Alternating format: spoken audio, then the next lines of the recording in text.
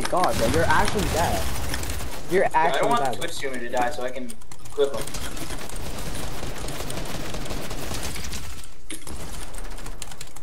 Uh, is he healing? He's one me on heat. This is me on high. This is me on high.